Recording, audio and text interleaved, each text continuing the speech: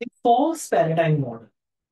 So, false paradigm model says this that there is underdevelopment in underdeveloped countries, and that is not because of inherent fault in these countries, but because there are some external advisors from the foreign countries, and they are telling what worked in their countries may also work for this underdeveloped country.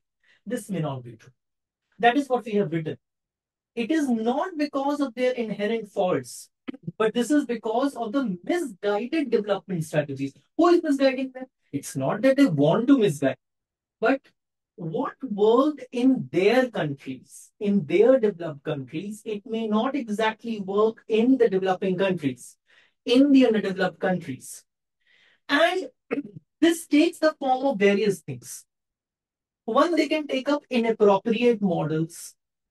So experts from World Bank, experts from IMF, experts from other countries, they are mainly working on the mainstream economic models which worked in the developed countries without looking at the local picture here. And because of that, these models may not work very efficiently in the developing country.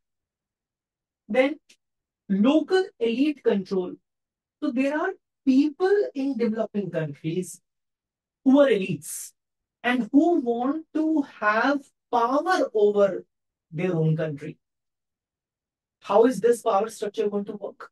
They know it very well that these models which they are suggesting, they may not work very efficiently in the developing countries, but they still give support to them. Why? Because they have their own vested interest. They want to have more power. And it creates more inequality in the system. And they want to grab on that inequality. Lack of relevant knowledge. When these models are being applied exactly in the developing countries without consulting local policy leaders or local policy makers, it will not help these developing countries. Because without looking at the problems in the developing country, if you just say what worked in that country is going to work in this country, also it is not going to work.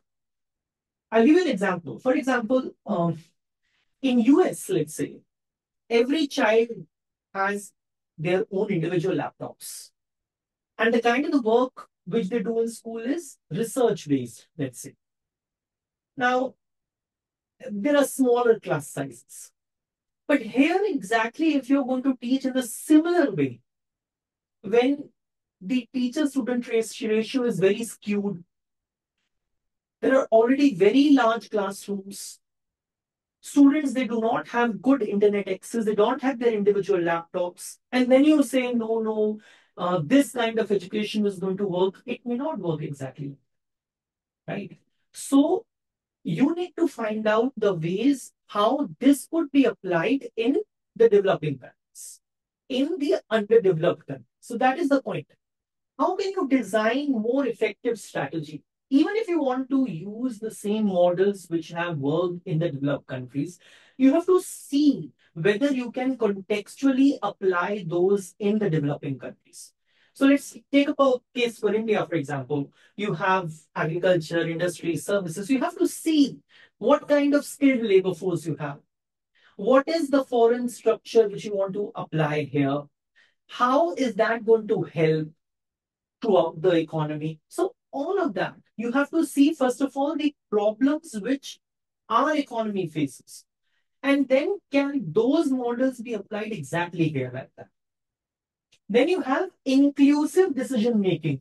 As the name suggests, if you are applying for any model, any new model to be applied in my own country, I should be asking local policymakers. I should be taking their opinions.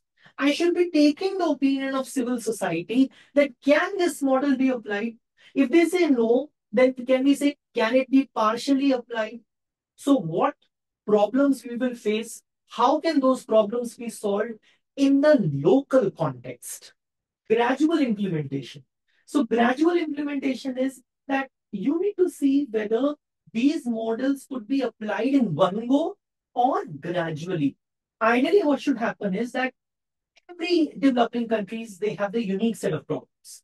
So you should see if you apply what worked in the developed countries, if you want to apply that, can you get away with one roadblock first?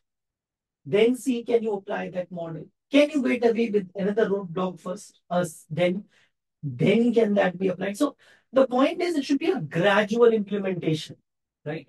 So if you want to have a research-based education, are the teachers really equipped for that? Have you provided those kind of training here? So those things have to be seen in the in the context of the local country.